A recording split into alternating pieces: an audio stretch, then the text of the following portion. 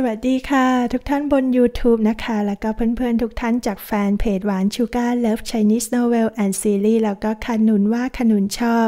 by หวาน Sugar นะคะสำหรับ episode นี้ค่ะปริศนาลับราชวงศ์ถังนะคะ มาสนุกกันต่อกับเก็บรายละเอียดในเวอร์ชั่นละครค่ะ ตอนที่ 21 นะคะ เย็นวันนั้นค่ะเมื่อหลูหลิงเฟิงกลับมาที่หอจงเซิงนะคะ เชียหวนก็เตรียมอาหารไว้รอแล้ว แล้วก็บอกว่าเนี่ยเฟยจียังคงดมผ้าผืนนั้นอยู่เลย ส่วนสี่จินก็กลับมาพร้อมภาพวาดสองใบ เป็นชายแก่กับหญิงแก่ แต่น่าเสียดายที่พวกเขานั้นเห็นหน้าไม่ชัด พรุ่งนี้ยังมีพยานอีกสองคนที่จะมาบอกลักษณะของคนร้าย แล้วก็ถามเขาบ้างว่า มีอะไรมารายงานนางไหมเขาจึงบอกไปว่าไม่มีความคืบหน้าอะไรเลย แต่ก็มีอยู่อย่างหนึ่งที่แปลกมาก แม่ของแม่นางหุยนั้นบอกว่านางไปฝังเข็มรักษาอาการปวดหัวที่จงเซิง แต่กลับไม่พบบันทึกการรักษาเสียงั้น แต่ดูแล้วเซียวซีมีอาการพิรุษเหมือนอยากจะพูดอะไรบางอย่าง สี่จินก็จึงรีบออกไปที่หอจงเซิงด้านหน้า พร้อมกับเขาเพื่อขอดูบันทึกการรักษาอีกรอบ เพียงแค่นางพลิกดูบันทึกการตรวจรักษา ก็รู้ได้ทันทีว่าบันทึกของสามวันที่แล้ว ถูกเขียนขึ้นในภายหลัง นางบอกว่านางอยู่กับน้ำหมึกมาตั้งแต่สามขวบ แค่มองก็รู้แล้วว่าสีของน้ำหมึกไม่เหมือนกัน พอลูกน้องของใจเหลียงได้ยินดังนั้นจึงรีบสารภาพว่าหุยเหนียงมารักษาที่นี่จริง ใจเหลียงให้เขียนบันทึกใหม่ขึ้นมาในภายหลังแทนอันเดิม ใจเหลียงจึงยอมรับว่าบันทึกเนี้ยเขาเขียนไว้ทีหลังจริง เพราะไม่อยากให้ใครรู้เรื่องน่าอายของเขาสองคน เขายอมรับว่าแม่นางฮุยนั้นมารักษาที่นี่เป็นประจำ และทุกครั้งที่มาเขาจะให้นางไปรอที่เรือนไม้ ในสวนหลังบ้าน เพื่อจะได้ฝังเข็มตามลำพังสองต่อสองเขายอมรับว่าสเสน่หาในตัวนาง แต่วันนั้นเขายังติดคนไข้ฝังเข็มอยู่ จึงเอากุญแจให้นางไปรอก่อน ส่วนตัวเขานั้นเมื่อถอนเข็มให้กับคนไข้เสร็จก็รีบตามนางไป แต่กลับไม่พบตัวนางเห็นเพียงแค่ผนังห้องรับ ที่เปิดทิ้งไว้ เลยคิดว่านางนั้นคงเห็นสุสานของท่านลุงเข้าจึงตกใจหนีกลับไปก่อน คิดว่าวันหลังค่อยอธิบายให้นางฟัง แล้วเขาก็รีบกลับมาที่ด้านหน้าของหอจงเซิง ใจเหลียงเขาคิดว่าเจ้าคนชั่วเหลียงซานฉี่ ก็ถูกท่านมือปราบจับได้จนฆ่าตัวตายไปแล้ว นางคงไม่ได้เกิดเรื่องที่นี่หรอก คงเกิดเรื่องหลังจากออกไปแล้ว ลูกน้องของใจเหลียงก็เป็นพยานให้ บอกว่าเขานั้นไปแค่แป๊บเดียว เพราะเขาเป็นคนรับหน้าที่ฝังเข็มต่อ ยังไม่ทันถอนเข็มเขาก็กลับมาทำต่อเอง แล้วตอนเย็นก็กลับบ้านตรงเวลา เขาเป็นคนล้างเท้าให้อาจารย์เอง เมื่อใจเหลียงมีพยานเรื่องที่อยู่ก็ไม่อาจสงสัยในตัวเขาได้แล้ว ลู่หลิงเฟิงกับสี่จินจึงต้องกลับมามือเปล่า แต่พอพวกเขากลับมาถึงจวนก็ถูกเฟยจี ที่พึ่งเข้าบ้านมาต่อว่าทันทีที่กล้าหลอกให้เขานั้นดมผ้าอะไรก็ไม่รู้ เพราะผ้าผืนนี้ไม่มีกลิ่นของสุราเลยแม้แต่น้อย แต่กลับมีกลิ่นของสมุนไพรที่มีฤทธิ์รุนแรงถึง 8 ชนิด ไม่มีใครเอาสมุนไพรฤทธิ์แรงแบบนี้มาดองเล้าหลอก แล้วคาดคั้นถามเอาคำตอบให้ได้ว่า ตกลงเป็นผ้าอะไรกันแน่ ลูหลิงเฟิงจึงบอกไปตามตรงว่าเป็นผ้าที่ใช้ห่อชิ้นส่วนศพ เมื่อเฟยจีได้ยินดังนั้นก็ทำท่าเหมือนจะอ้วกออกมาทันที โกรธพวกเขาที่ปิดบัง แต่ก็บอกว่าสมุนไพรส่วนใหญ่กระตุ้นการไหลเวียน ฉีไล่ลม ช่วยให้เลือดหมุนเวียน ใช้รักษาอาการปวดหัวถือว่าได้ผลดีมาก แต่ไม่มีใครเอามาผสมแล้วใช้พร้อมกันแบบนี้สักหน่อย นอกเสียจากปีศาจเท่าเมิงนั่นแหละ เขากล้าแม้กระทั่ง เฟยจีรีบหยุดพูดก่อนที่จะเผลอบอกอะไรออกมามากกว่านี้ แล้วทำทีบ่นลู่หลิงเฟิงที่เลือกมาอยู่ที่หอจงเซิงนี่ แค่เดินเข้ามาก็ขนลุกแล้ว แล้วก็ลากแขนลู่หลิงเฟิงออกไปดื่มเหล้าเป็นเพื่อนเขาที่ข้างนอก บอกว่าเขายอมนอนข้างถนนเสียดีกว่า นอนในหอนี้ เมื่อเฟยจีไม่ยอมกลับมานอนที่หอจงเซิง ลู่หลิงเฟิงจึงให้เขาพักอยู่ที่ว่าการอำเภอแทน เช้าวันต่อมาเมื่อลู่หลิงเฟิงไปที่อำเภอ เฟยจีก็รีบถามหาหลุมศพของเมืองตงเหล่า บอกว่าหากเขาไม่ได้ไปเคารพศพตามเท่าเมืองก็ต้องตามมาหลอกล้อนในฝันเขาตลอดเป็นแน่ แต่ลู่หลิงเฟิงก็ให้เขาบอกมาก่อนว่าเป็นอะไรกับเมืองตงเหล่ากันแน่ เฟยจีจึงยอมรับบอกว่าเมืองตงเหล่าเป็นสิทธิพี่ของเขาเอง ลู่หลิงเฟิงลำบากใจที่จะพูดความจริง เพราะกลัวว่าหากสีจินรู้เข้าจะเกิดความกลัวจนไม่กล้าพัก จึงได้กระพริบตาให้เชี่ยหวนช่วย เชี่ยหวนจึงบอกว่าที่ฝังศพของเมืองตงเหล่านั้นอยู่ไกลเป็นสิบลี้ไปที่เชิงเขาโซซานทางตะวันตกเฉียงเหนือของเมือง แล้วถามคนแถวนั้นดูก็จะได้หลุมศพของคนมีชื่อเสียง ใครๆก็รู้จัก เฟยจีได้ยินจึงรีบลุกออกไปตามหาทันที ลูหลิงเฟิงหันมาชมเชี่ยวหวนที่หัวดี รู้จักแก้สถานการณ์ได้เฟยจีโดนหลอกอีกแล้วนะคะ ทางด้านสีจินวันนี้ก็พบกับพยานอีกสองคน แล้วก็พยายามวาดภาพของคนร้ายออกมาให้ได้ ส่วนลู่หลิงเฟิงกับเชี่ยวหวน ก็ออกไปสืบคดีต่อ ตกค่ำพอพวกเขากลับมาก็พบว่าสี่จินวาดภาพคนร้ายออกมาถึงสี่รูป เมื่อลู่หลิงเฟิงได้เห็นทั้งสี่รูปก็คิดว่า คนร้ายมีคนสมรู้ร่วมคิดมาก ถึงขนาดนี้เลยหรือ แต่สี่จินก็บอกว่าพวกเขาทั้งสี่ต่างก็มีลักษณะที่คล้ายกันลู่หลิงเฟิงจึงเอ่ยว่าเขาตัวเล็กหลังค่อมนิดหน่อยแล้วก็ผมขาว นางถามเขาว่ารู้ได้อย่างไร เชียหวนจึงบอกว่าอาจารย์เขาน่ะออกไปสอบปากคำด้านนอก มาแต่ละคนที่เล่าลักษณะของคนร้ายก็บอกใกล้เคียงกัน จึงคิดว่าเขานั้นก็น่าจะปลอมตัวมากกว่าสี่จินก็เอ่ยว่า ดังนั้นเนี่ยนางจึงลองเอาจุดเด่นที่ใช้ร่วมกันของทั้งสี่ภาพมารวมกัน จึงวาดรูปคนคนหนึ่งออกมา แล้วก็นำรูปชายชราผมขาวให้เขาดู ทั้งลู่หลิงเฟิงและเจ้าหน้าที่อาวุโสพอเห็นภาพนี้ก็บอกว่าคุ้นมาก แต่ก็นึกไม่ออกว่าเคยเห็นที่ไหน ตอนนั้นเสียงเฟยจีก็อารวาสดังอยู่ข้างนอก ด่าว่าพวกลูกน้องหอจงเซิงว่าไม่ได้เรื่อง หลุมศพเท่าประหลาดเมืองอยู่ที่ไหนก็ไม่มีใครรู้ แล้วก็เอาไม้กวาดตีเชี่ยหวนโทษฐานที่หลอกให้เขาไปไกลกว่าสิบลี้แต่ลู่หลิงเฟิงก็เข้ามาห้ามบอกว่า เป็นความผิดของข้าเอง แล้วก็พาเฟยจีเข้ามานั่งคุยกันในห้อง ขณะที่ลู่หลิงเฟิงส่งชาให้เขาดื่ม เพื่อจะได้ใจเย็นลง สายตาของเขาก็เหลือบไปเห็นรูปที่สี่จินวาด จึงรีบหยิบขึ้นมาดู เขาถามสี่จินว่าเป็นคนวาดใช่ไหม เจ้ารู้ได้อย่างไรว่าข้าคิดถึงสิทธิพี่จนร้อนใจ เจ้าก็เลยวาดรูปของเขาออกมาให้ข้าเห็นเช่นนี้ ลู่หลิงเฟิงพอได้ยินจึงรีบถามซ้ำว่าคนในรูปคือผู้เท่าเมืองตู่เหล่าจริงหรือ เฟยจีจึงยืนยันว่าใช่แน่นอน ต่อให้ไม่เจอกันเป็นสิบปี แต่เท่าประหลาดหากมีชีวิตอยู่ก็หน้าตาเหมือนอย่างนี้แหละพอเขาเอ่ยเช่นนี้เจ้าหน้าที่อาวุโสก็นึกขึ้นได้ว่า ที่รู้สึกคุณนาก็เพราะเขาคือสินแสเมืองเหล่านั่นเอง ฝ่ายเชี่ยหวนก็นึกออกว่าวันที่เราเข้าไปจับโจรในบ้านหลังนั้น เขาเห็นภาพนี้อยู่ที่หลังหลุมศพนั่นเอง พอสี่จินได้ยินคำว่าหลุมศพก็ตกใจ แต่เฟยจีกับรีบถามว่าหลุมศพเขานั้นอยู่ที่ไหน ลูหลิงเฟิงจึงยอมพาพวกเขามาที่หลุมศพของเมืองตงเหล่า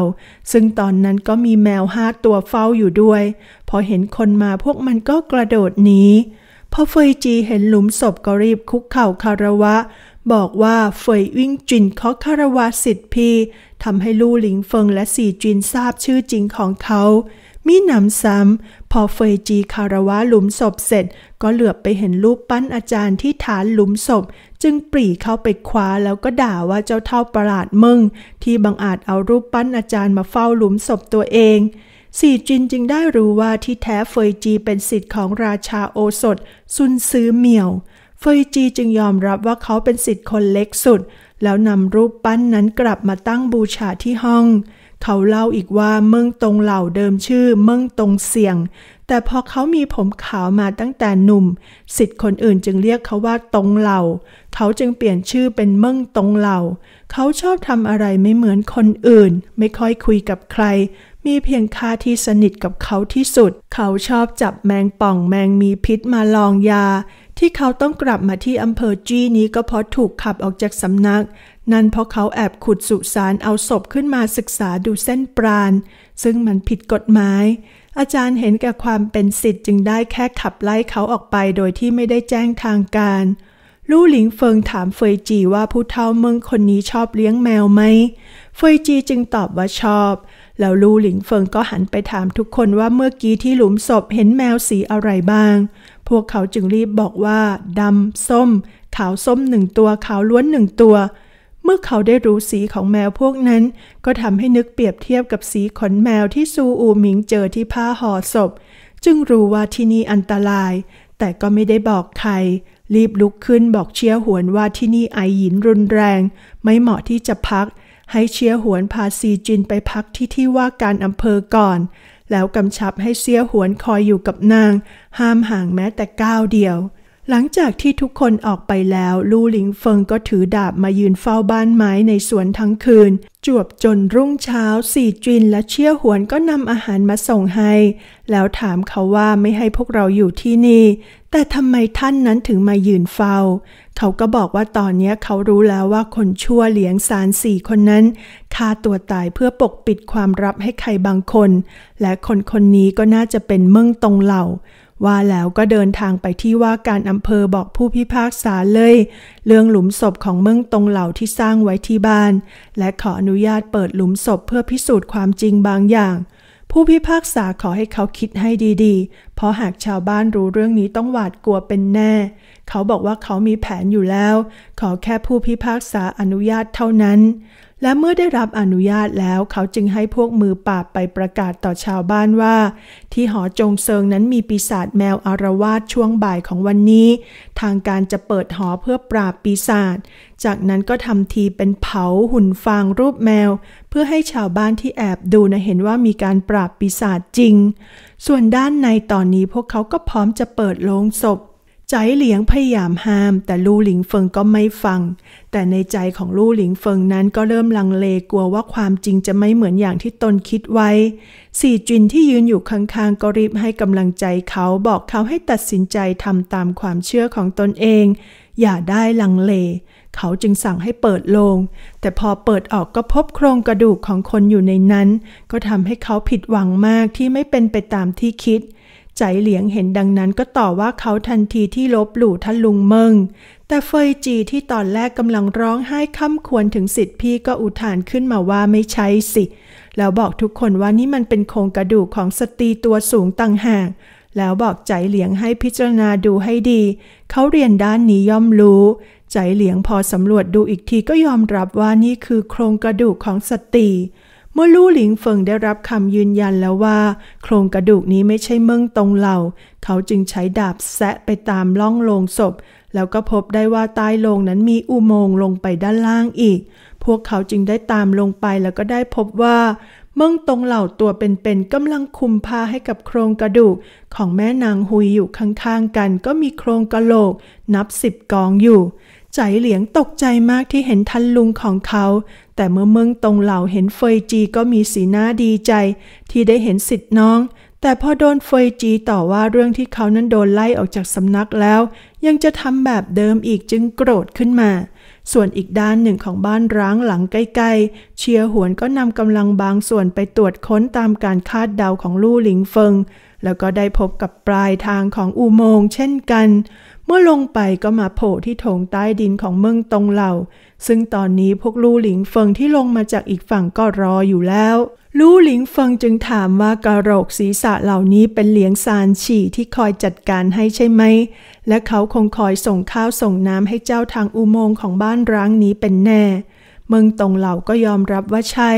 เขาคิดสร้างอุโมงค์นี้มานานแล้ว และเพื่ออุทิศตัวสำหรับการเขียนตำราแก้โรคปวดหัว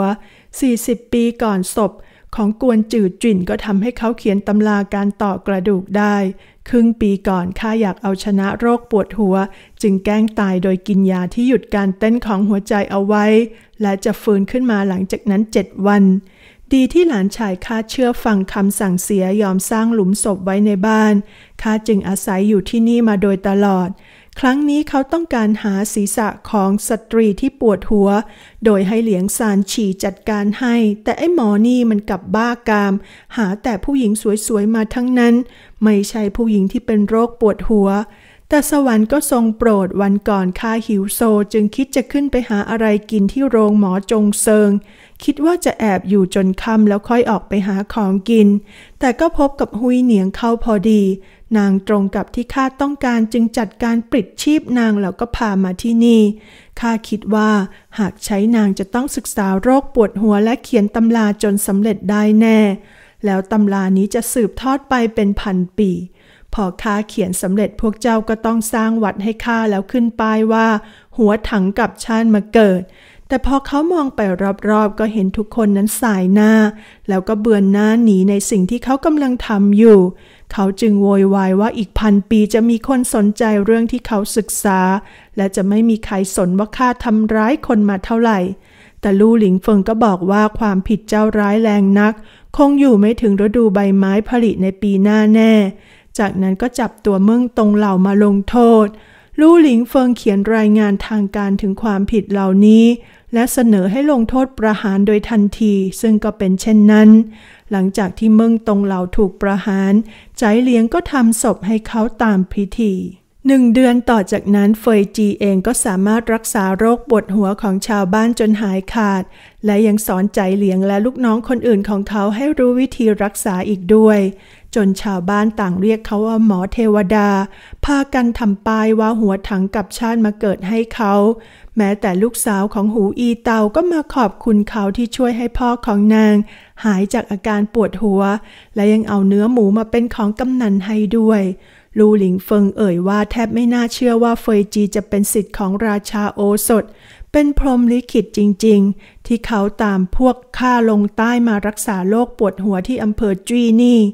ซีจินก็เลยฉวยโอกาสบอกว่าที่ลงใต้มากับเขาไม่ได้มีแค่อาจารย์เฟยจีคนเดียว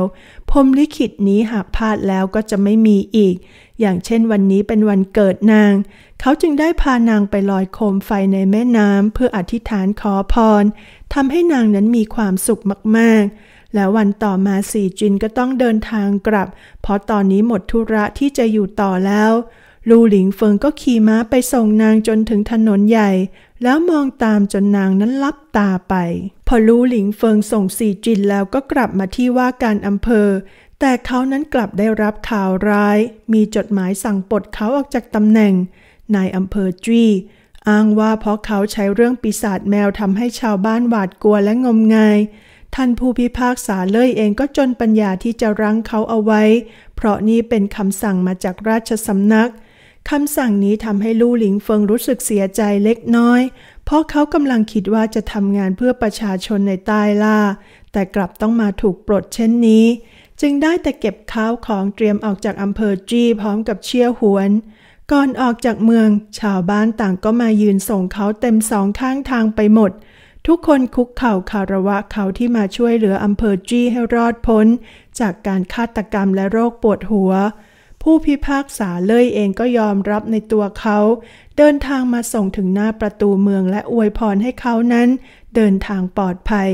จากนั้นพวกเขาจึงมุ่งหน้าออกจากเมืองทันที จบแล้วนะคะสำหรับปริศนาลับราชวงศ์ถังค่ะรายละเอียดในตอนที่ 21 นะคะ เดี๋ยวตามหวานไปค่ะเรื่องราวสนุกมาก ๆ เลยในตอนที่ 22 นะคะ ว่าต่อไปพวกเราจะไปนะคะ สืบความลึกลับของคดีอะไรค่ะ มีความสุขกันมาก ๆ นะคะ เดี๋ยวกลับมาพบกับหวานได้ใหม่ สวัสดีค่ะ